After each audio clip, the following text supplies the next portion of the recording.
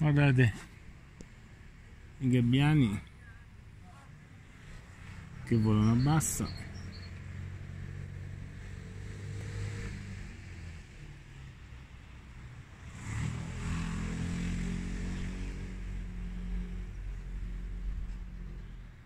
Si attende un po' di maltempo.